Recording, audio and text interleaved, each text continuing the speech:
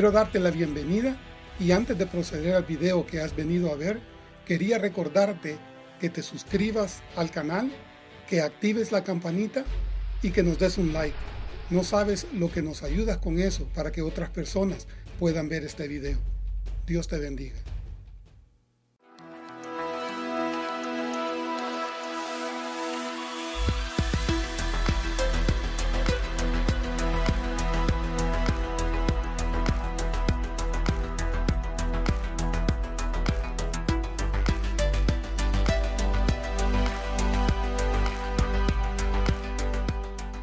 La reflexión de hoy, tu sistema de alerta temprana. En el norte de Inglaterra, en 1881, una terrible tormenta azotó esa parte del país. Un ministro en el pequeño pueblo de Eyemouth tenía muchos de los pescadores del lugar como miembros de su congregación. Había sido un clima muy tormentoso y los pescadores estaban detenidos en el puerto durante toda una semana. Un día, sin embargo, el sol brillaba en un cielo azul claro. Parecía como si la tormenta hubiera pasado, y los botes partieron hacia la zona de pesca. 41 barcos salieron del puerto de Eyemouth ese día. Antes de que partieran, el capitán a cargo del puerto levantó la señal de tormenta y les advirtió sobre la próxima tormenta que se avecinaba. Les rogó que no fueran, pero hicieron caso omiso de su advertencia y todos partieron del puerto.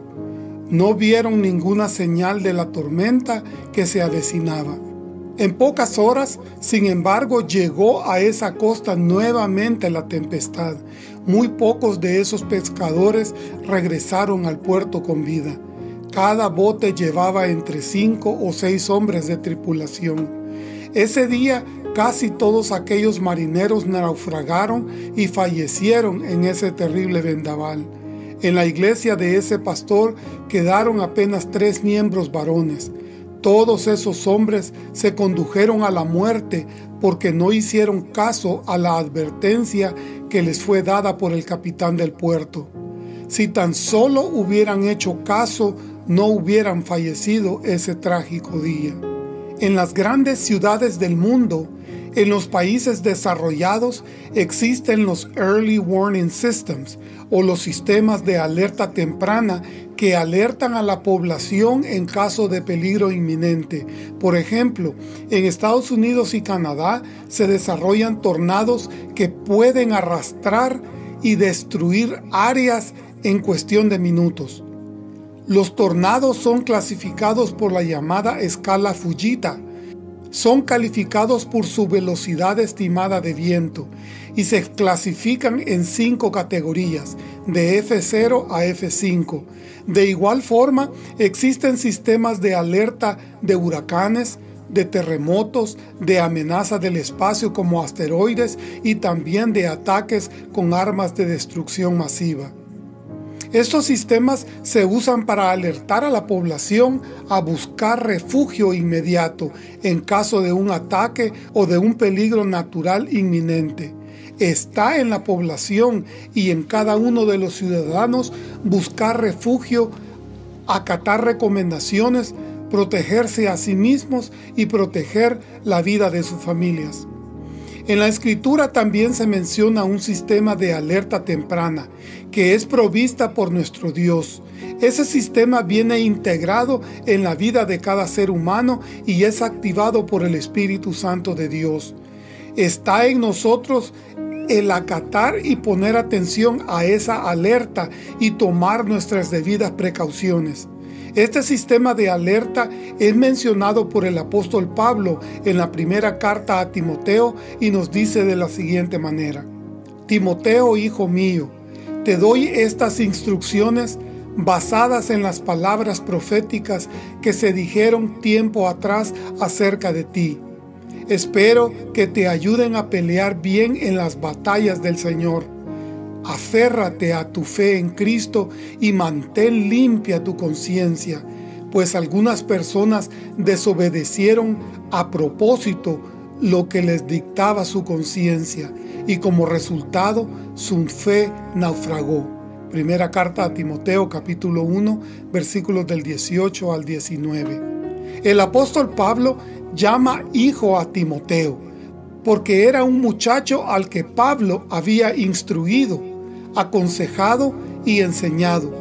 Timoteo era originario de la ciudad de Listra, en el área de Licaonia, ahora Turquía, en Asia Menor, nacido de una madre judía que se había convertido al cristianismo y un padre griego.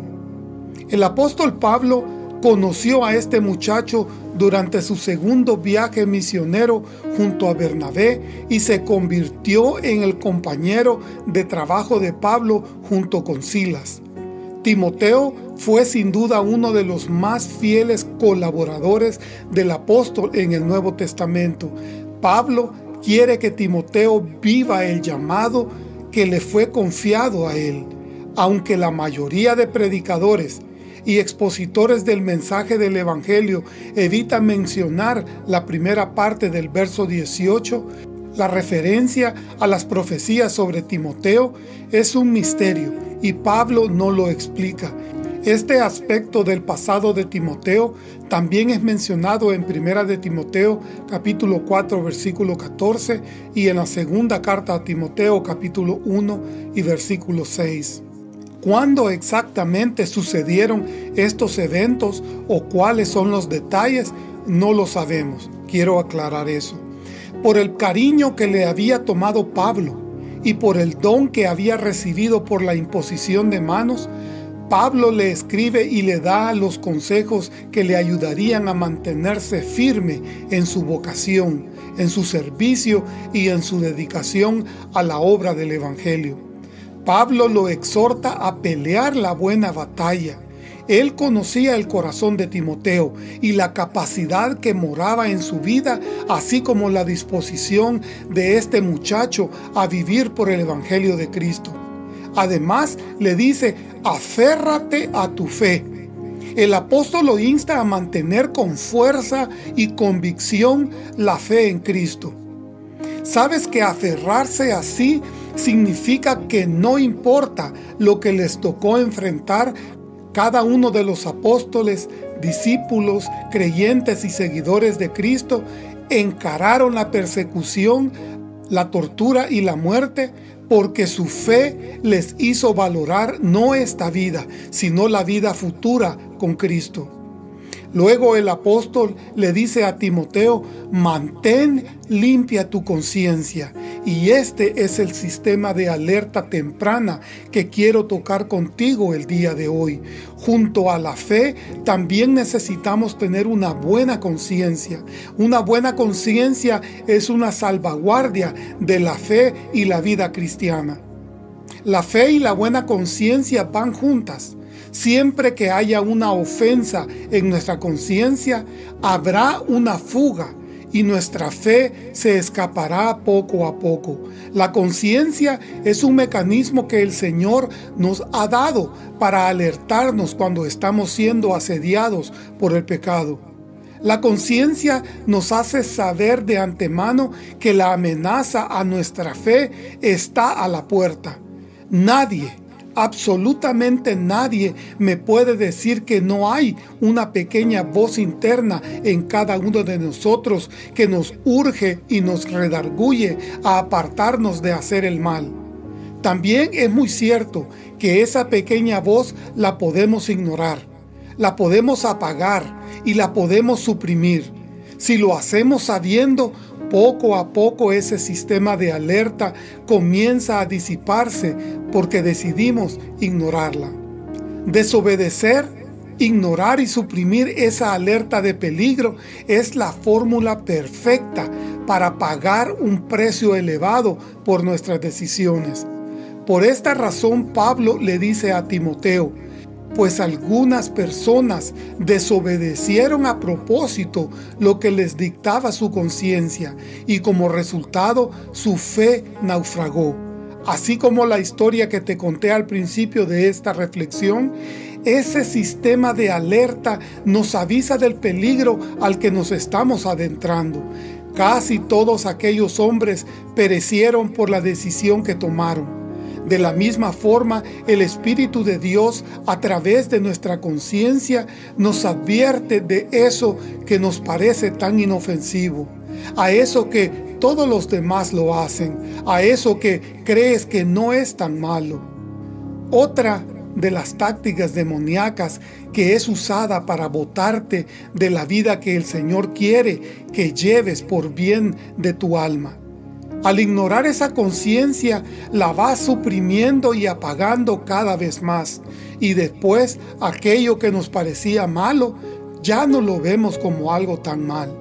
El demonio te comienza a dar terapia mental y a decirte, el Señor sabe que eres carne y pues eres débil. Él sabrá perdonar. Y así, con ese engaño, te adentras cada vez más en esa tormenta que al final te llevará al naufragio de tu fe y a la muerte definitiva de tu alma. Lamentablemente, la mayoría tenemos la inclinación carnal y la influencia maligna de tener que aprender con los golpes después de nuestras malas decisiones. En la vida hay quienes aprenden de los golpes después de haber decidido mal, a pesar de que alguien les haya querido aconsejar. Esto lo he visto en el transcurso de mi vida, con amigos, familiares, etc. Muchas veces piensan que se les quiere manipular, cuando a veces el consejo es porque nosotros ya lo vivimos. Ya hemos pasado por esa mala decisión. Por más que quieras razonar con esa persona, no cede y dice, prefiero aprender de mi experiencia propia. Está bien, ese es un derecho que todos como seres humanos tenemos en esta vida. Pero cuando se trata de el destino de tu vida, es triste ver que muchos prefieren ignorar y rechazan aprender de las experiencias de aquellos que vivieron antes que nosotros y que lucharon con fe por esa promesa en Cristo Jesús. Hoy levanto señal de amenaza de tormenta y te advierto para que escapes del juicio que se aproxima. No digas que esperarás a mañana para hacer esa decisión, porque quizá hoy sea la última oportunidad que tengas en esta vida. Durante la guerra de independencia en los Estados Unidos, un espía leal apareció en la sede del comandante gesiano, el coronel Johann Rau, con un mensaje urgente. El general George Washington y su ejército habían cruzado en secreto el río Delaware esa mañana y avanzaban hacia Trenton, New Jersey, donde estaban acampados los gesianos. Al espía se le negó una audiencia con el comandante y en su lugar escribió un mensaje en una hoja de papel. Un portero llevó la nota al coronel, pero como Raleigh estaba involucrado en un juego de póker, metió la nota en su bolsillo sin leerla. Cuando los guardias del campamento comenzaron a disparar sus mosquetes en un intento inútil por detener al ejército del general Washington, sin tiempo para organizarse, el ejército gesiano fue capturado. La batalla ocurrió el día después de Navidad de 1776, dando a los colonos su primera gran victoria de la guerra. Mi querido amigo y hermano, día y noche suenan las alarmas de peligro, anunciando el inminente naufragio de tu vida, del juicio que tendrás que enfrentar al final de los tiempos. Si escoges ignorar la alarma, que recibes por medio de este mensaje y por el toque de tu conciencia, puede ser que perezcas como esos marineros o como esos batallones que fueron sorprendidos y ya no les alcanzó el tiempo para cambiar el resultado. No permitas que esto suceda. En nombre de Cristo te pido que te aferres a la fe en Jesús y que escuches a la voz de tu conciencia. Todavía hay tiempo. Nuestro bendito Señor, redargúyenos con tu espíritu, abre nuestros ojos, sensibilízanos a nuestra conciencia. Tú nos vienes alertando por milenios el final que ya está profetizado para la humanidad. Tú diste a tu Hijo con el propósito de proveernos el canal de salvación si tan solo creemos en Él y lo recibimos en nuestro corazón. Ayúdanos a entender esto de la forma más apremiante. Te lo venimos a suplicar en los méritos de Jesucristo tu Hijo. Amén.